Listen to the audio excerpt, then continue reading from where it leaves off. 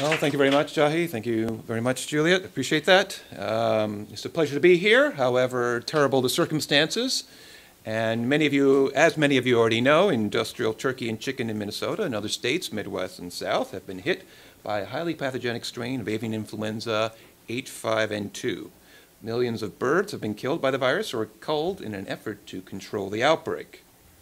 The epizootic began out in the northwest, with H5N2 hitting a number of backyard farms and wild birds in December before spreading east. Suddenly, in early March, H5N2 wiped out 15,000 turkeys on an industrial farm in Pope County, the first of what would be nearly 9 million birds and counting killed or culled across 108 farms over 23 counties. 21,000 turkeys in Otter Tail County, 45,000 in Meeker County, 50,000 in Kandiyohi, 56,000 in Redwood, 67,000 in Stearns. Do I hear 76,000 in Stearns? Yes, 127,000 on a Hormel farm in western Wisconsin, 152,000 in Kandiyohi, whose outbreak has since expanded to 40 separate farms. 1 million plus hens in Nicollet County owned by Michael Foods, a division of Post Holdings. Nearly 4 million hens in Osceola County in Iowa, just south of Worthington five and a half million birds at Rembrandt Enterprises in Buena Vista County, Iowa, owned by Star Tribune owner Glen Taylor. And on and on, spilling over into turkeys in North and South Dakota, the chicken egg belt across northern Iowa, industrial turkeys and chickens in Wisconsin, and down the Mississippi to the concentrations of Cargill poultry, poultry in Missouri and northwestern Arkansas. How do I explain this outbreak? Well, despite years developing contingency plans, many a university and governmental scientists here has expressed shock at the outbreak, calling it unprecedented and throwing all the old dogma out the window. In some sense, I get it. Influenza is explosive and can reach a geographic scale that outpaces many a plan. Certainly the Chinese and Indonesians can speak to that. And yet we should be shocked that they're shocked. First, outbreaks have routinely wiped out industrial poultry around the world. And second, these outbreaks have been routinely reported on in both the popular press and scientific literature. True surprise would indicate incompetence, feigned shock would indicate deception. So, stymied scientists have moved to speculating rodents or small birds seeking food or flies track the virus into industrial barns. Or perhaps it's the wind bringing fomites bearing flu particles through the barn vents that this may say something about the biosecurity of so called biosecured farms is a notion that is sequestered off. That can't be. We can't talk about that. The industrial model comes first, and everything, including nature and its pathogens, must cooperate with it. Perhaps it's the worker's fault. The virus may be entering on clothing or shoes of workers, although, quote, commercial operations have strict biosecurity guidelines for changing clothes and disinfecting items. And yet, with months for warning and all precautions taken, the outbreak marches on into the summer months and over a broader geographic extent. Well, we need then back up and blame the reservoir from which almost all reassortants emerge. Quote, bird flu has been found in more than 100 species of wild birds. The virus can be left behind in wild birds' feces, on feathers, on their bodies of dead birds, Birds confirmed to have carried the virus currently spreading infection in the United States include ducks, Canada, Canada geese, and predatory birds.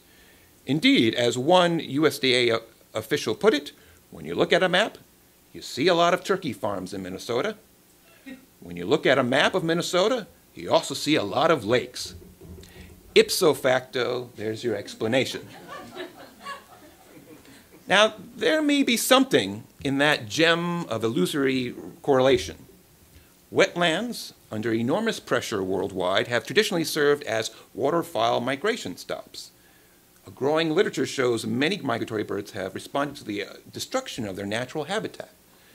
Geese, for example, display an alarming behavioral plasticity, adapting entirely new migratory patterns and nesting in new types of wintering grounds, moving from deteriorating wetlands to food filled farms.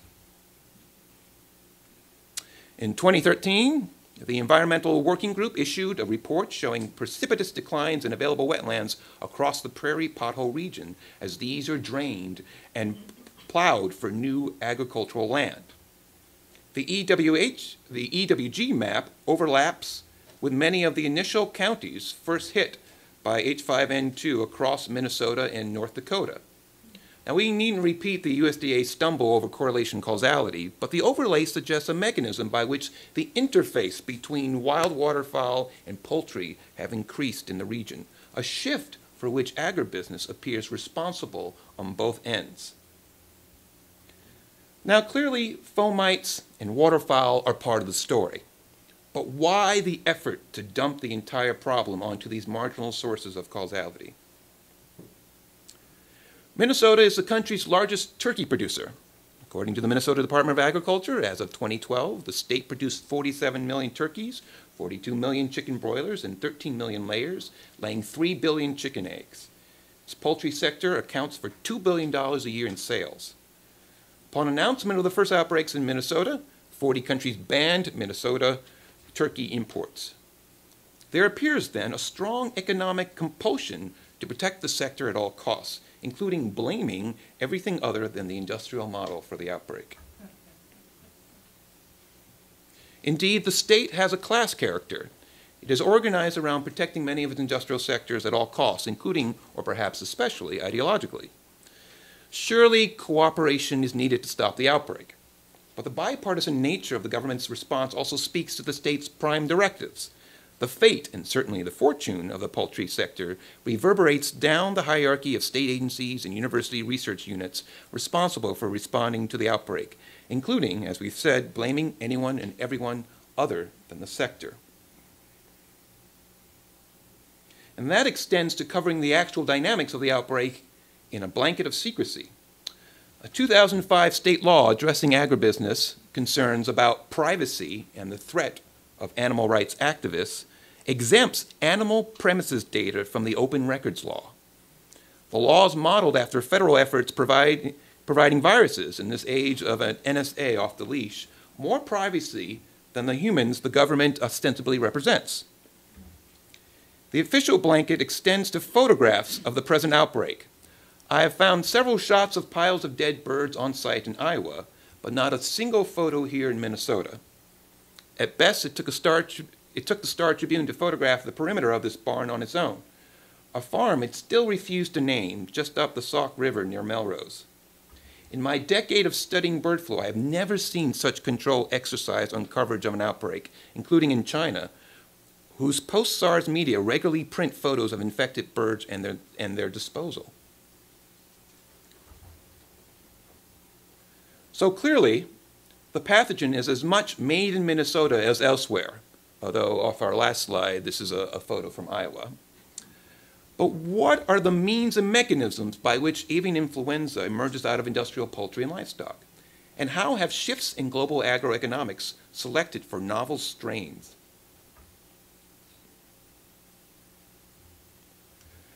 We begin with what's considered the establishment model. Here's a global risk map of emergent zoonotics produced uh, by a number of luminaries in the field of ecohealth. It's based on a logistic regression of presence absence of all newly emergent diseases since 1940 against such drivers as human population density and wildlife diversity. The warmer the color, the more likely new pathogens should emerge there. But in treating disease strictly in terms of ecological theory and confusing uh, absolute geography for causality, meaning if, if, it's red, this is where the virus is going to come from. What the map misses is the critical point that in some instances uh, would reverse our initial conclusions. So let's take H5N1. Clearly emerged in southeastern Chinese province of Guangdong in 1996 before spilling over into Hong Kong when we inc include what we've learned about the economic relationship Hong Kong and Guangdong share, causality shifts direction. By the 1990s, the relationship had returned to pre-revolutionary dynamics whereby Hong Kong acts as a proverbial front of the store, providing capital and marketing for Guangdong, the back of the store where production takes place. Indeed, at the time of H1, H5N1's emergence, four-fifths of the foreign direct investment through Hong Kong went to Guangdong, including backing the shifts in agriculture and land use implicated in disease emergence. Contrary to the morality tale that repeatedly characterized Hong Kong as some innocent victim, Hong Kong appears as responsible for Guangdong as Guangdong for H5N1, and causality moves in the other direction as well. So with these kinds of complications in mind, I started working with the University of Washington's Luke Bergmann to test whether the world's circuits of capital, as they relate to husbandry and capital, uh, husbandry and land use, are related to disease emergence. Here we have the percent of land whose harvests are consumed abroad as agricultural goods, there in green, or in manufactured goods and services in blue. In short, landscapes are globalized by circuits of capital. In this way, the source of disease may not be merely the countries in which new diseases first appear. It may extend as far as the other side of the world. We need identify who funded the development and deforestation to begin with, as seen here in capital accumulation and consumption across croplands, pasturelands, and forests. It begs whether we might more accurately characterize such places as New York, London, and Hong Kong, key sources of capital, as disease hotspots in their own right. In short, thinking in terms exclusively of the virology or even the ecological, thinking about uh, epidemiological uh, interventions is insufficient. You need a more of a relational geography relating different parts of the world. Also, need is moving out of our, our fantasies of, about the nature of even anthropogenic Earth Earth has effectively been transformed into planet farm, with the attendant biomasses across from left to right for vertebrate wildlife, livestock in the middle, and people on the right. That's in millions of tons. And along with that is a uh, geographical distribution to show for it. Here are the total livestock per square kilometer, including all cattle, chicken, ducks, pigs, sheep, and goats as of 2006. We see an explosion in global intensification uh, in meat production. Here, the relative output to input for chicken, cattle, and pork. And it's driven by the global spread of vertically integrated filiere by which all the nodes of animal production are placed under one company's roof, from fertilization to freezer. Here we see the consolidation in U.S. hog farms, with the number of farms precipit precipitously declining and the average heads per farm exploding. Fewer farms, more meat. The consolidation in physical space goes hand in hoof with that in ownership. In the US, five companies, Cargill, Smithfield, Tyson, JBS Swift, and Pilgrim's Pride, parlayed vertical integration and reversals in antitrust law into mass consolidation. They drove their smaller competitors under or took over their operations. According to the Institute for Agricultural Agriculture and Trade Policy. I hear they're good people. Uh, the five companies now control 83% of beef production, 66% of pork production, and 58% of poultry production, some of the greatest monopolistic livestock concentrations in the world. As a result, the U.S. has lost nearly 600,000 independent hog farms and half a million cattle ranches since 1980. The agroeconomic transition can be seen globally as well, with here annual global production in pigs more than doubling in 15 years and international exports in gray nearly tripling the past decade. So they're shipping pigs out. Um, and sometimes they ship them out by plane. So pigs do fly. And such changes are borne out in the ecologies of poultry and livestock, both inside and outside the barn. The profound shifts in stock breeding over the past three decades appear to have selected for new swine and avian influenzas, which now serve as a growing reservoir of potentially pandemic strains. Here, as of 2010, we have a list of only those highly pathogenic H5 and H7 that struck when no such strain was previously present. Those studies highlighted in blue document on-site shifts from low to high pathogenicity. All these, save one, occurred on large-scale operations of more than 10,000 poultry. Preliminary modeling exploring the mechanism for the evolution of, of such virulence. Don't worry, it's not going to be on the test. Here's a model by a group headed by Yale's Alison Galvani showing increasing the rate poultry are harvested. A move at the center of industrial stock breeding could select for increased virulence in influenza. So, in brief, the story goes that there's a cap on how much of a badass you can be as a virus. You can't kill too many of your, your hosts before you transmit into the next. If you do so, then your lineage dies out. So, but what happens when you know the next host is going to be there? That basically selects for strains that can get to the threshold in the host that they can spread to the next one. So the cap on virulence is removed, and this is what happens in a farm a barn with thousands of genetically similar uh, poultry that are um, put in, stuffed in together.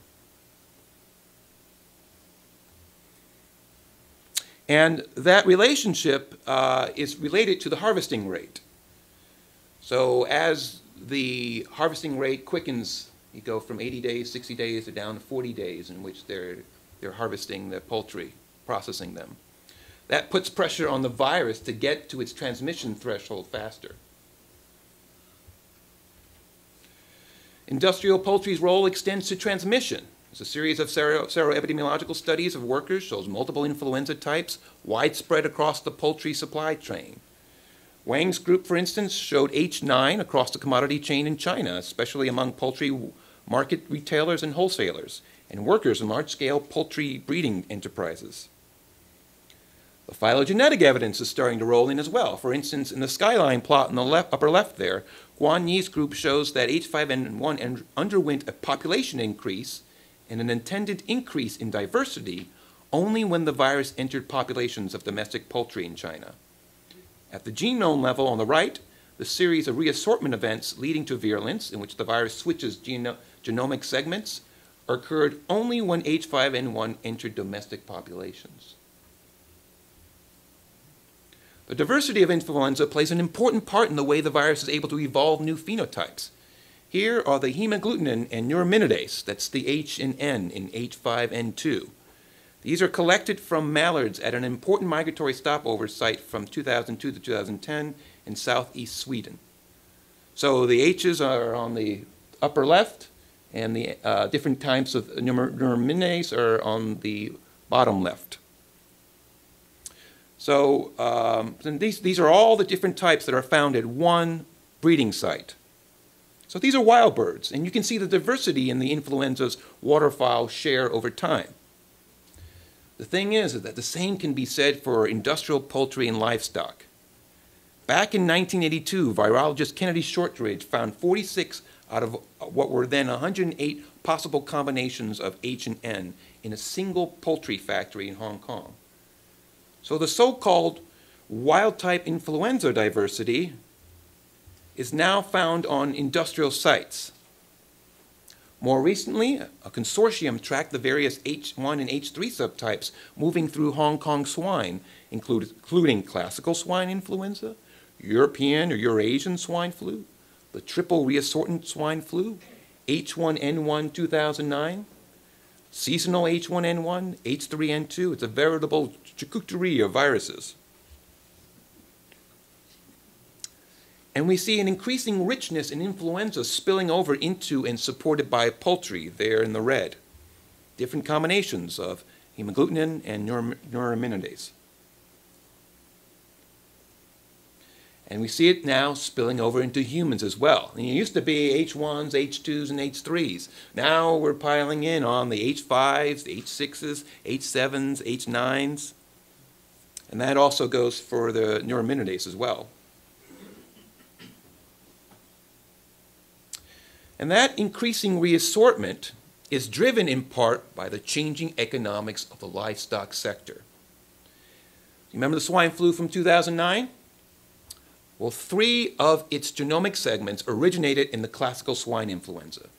Three of its segments from a North American recombinant and two from a Eurasian recombinant. In short, every one of H1N1's genetic segments proved most closely related to those of influenza circulating among swine, together originating on wholly different continents. That's a geographic extent and commodity chain no smallholder operation can cover.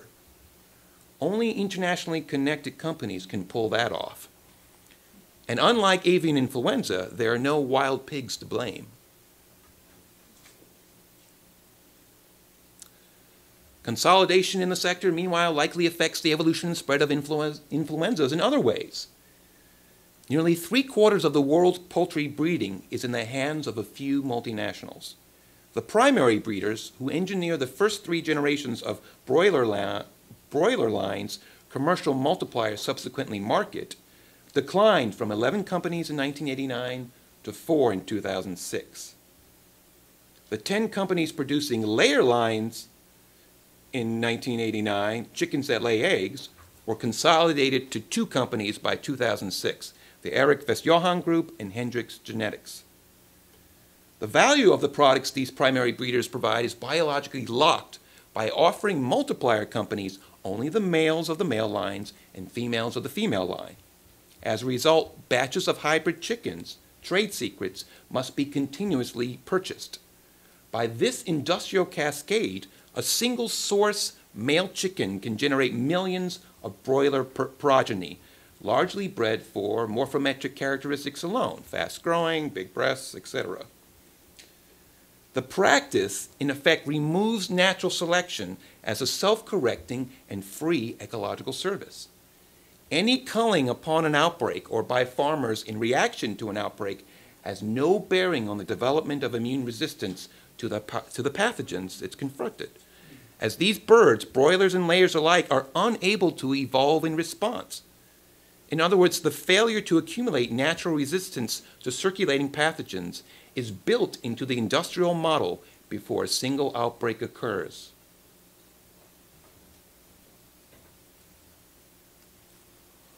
On the other hand, while big poultry removes the means by which the birds can protect itself, influenzas may be adapting to the industrial model in some ingenious ways. Some preliminary modeling indicates that the virus may evolve a virulence, a deadliness, that's timed with the finishing time of poultry production when the barn of birds is, is processed. The virus wants to be able to infect enough in a barn to reach a threshold that permits it to infect the next barn. Incredibly, that would mean that flu's now something of a farmer too, husbanding cohorts of infecteds, not for market, but next, the next available barn of fresh susceptibles. Eh, so what? The sector shrugs its shoulders.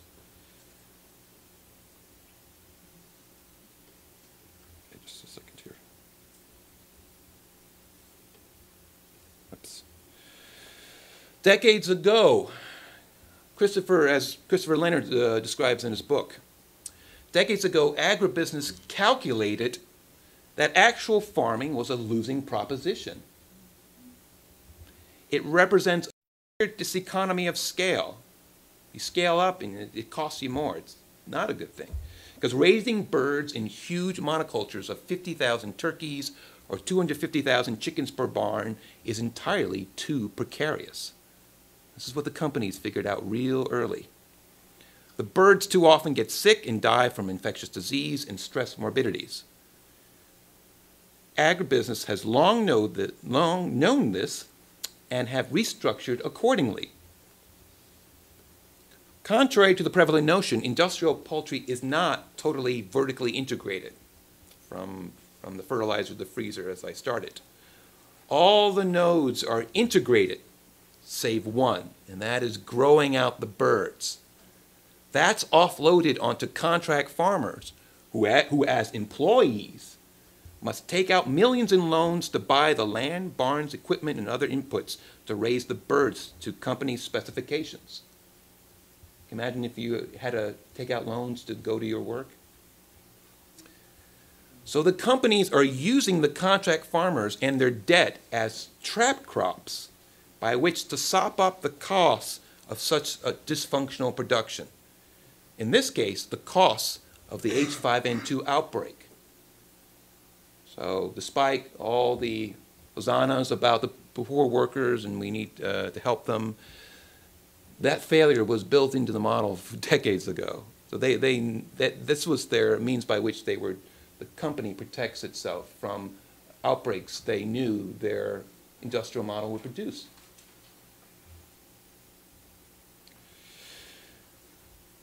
And that part of the epizoology is hard to see if land grant universities, and here's the Cargill building at the University of Minnesota, if land grant universities trade in their charters for agribusiness R&D. Indeed, that myopic block it's selected for in the researchers. It's, it's a design feature. As much as barns and silos, as Upton Sinclair puts it, it's difficult to get a man to understand something when his salary depends upon his not understanding it. Indeed, the short-term gains in agribusiness's production and supply efficiencies have been developed only by way of a series of costs borne by local peoples and the environment, costs kept off company balance sheets.